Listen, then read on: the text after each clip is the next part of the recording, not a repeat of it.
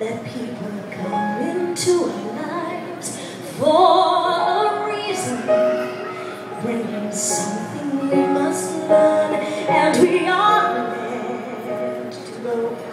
help us most to grow if we let them, and we help them in return. Well, I don't know if I believe that's true, but I know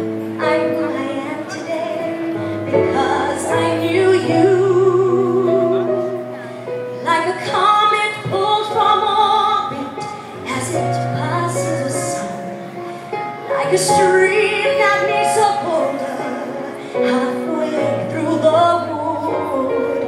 Who can say